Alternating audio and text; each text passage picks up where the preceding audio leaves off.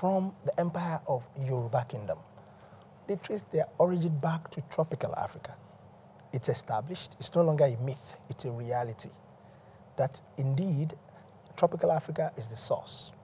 And the way we've been tracing it down, we can actually trace it down to Ile Ife. And it's now been traced down to Ile Ife.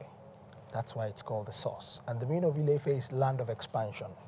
That's another story for another day. But what I'm passionate about is for us to just know the truth and the truth to set, set us all free.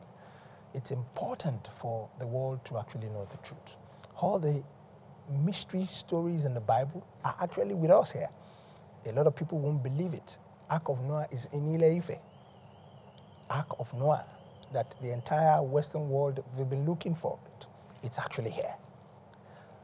Tower of Babel, where God actually scattered the language of human being, is actually in Ife.